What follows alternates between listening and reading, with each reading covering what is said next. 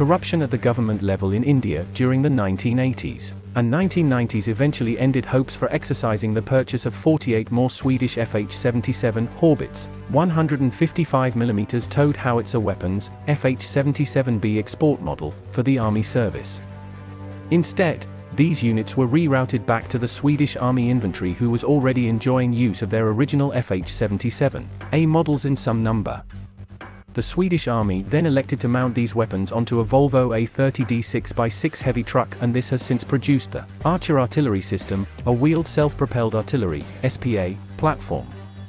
Design work was had in 1995 and was influenced by the land-based, towed FH-77 howitzer form, detailed elsewhere on this site. Development of the gun eventually went on to include neighboring Norway who held the promise of purchasing the new mobile weapons platform, alongside their Scandinavian neighbors.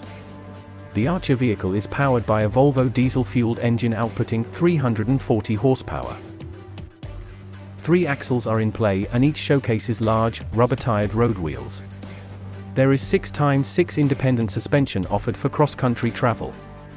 Road speeds can reach up to 40 miles per hour and operational range is out to 310 miles. The primary armament of the Archer is the 155mm, 52 caliber FH-77 field howitzer.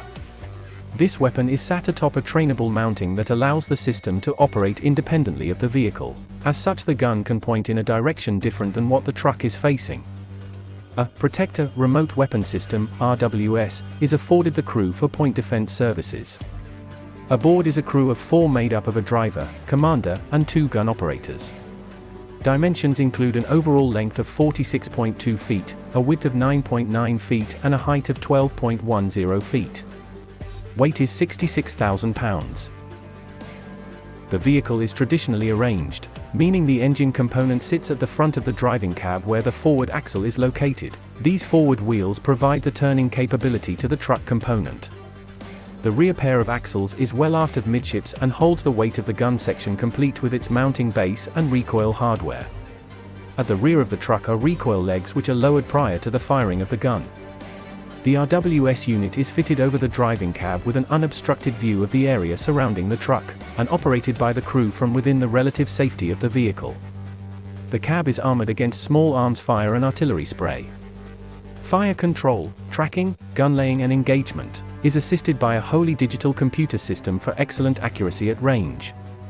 Pilot forms, prototypes, of the gun were available in 2004, through two examples, and evaluation models were ordered by the Swedish Army in 2008. The service committed the following year and both Sweden and Norway initially contracted to acquiring 24 vehicles apiece, for a total of 48 units. Service entry into the Swedish Army ranks occurred in early 2016 though Norway ended up cancelling their share in a 2013 move against the project. Croatia was, at one point, a possible candidate for the Archer, electing to purchase the German PZH 2000 instead.